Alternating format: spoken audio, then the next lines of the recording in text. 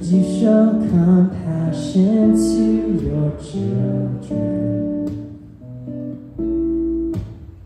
Would you care for those who fear your name?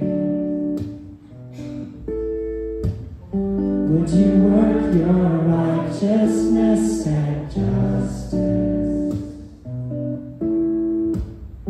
Would you take our sin?